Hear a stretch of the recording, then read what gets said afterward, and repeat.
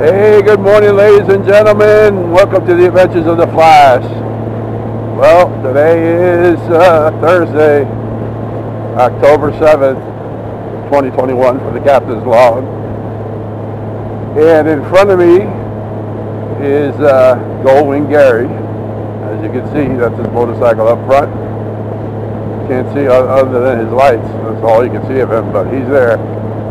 Anyway, Right now we're going northbound on 27 and we are going to Fort Pierce today. That's right, Fort Pierce.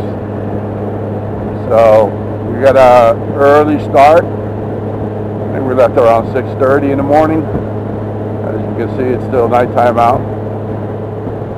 So uh, should be a great day. Ride the Flash and uh, check out Fort Pierce.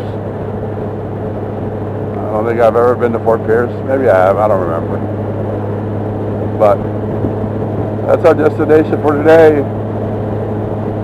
And uh, like I always say, that uh, anytime I can get to go and ride the Flash and go for a ride, it's always a fantastic day.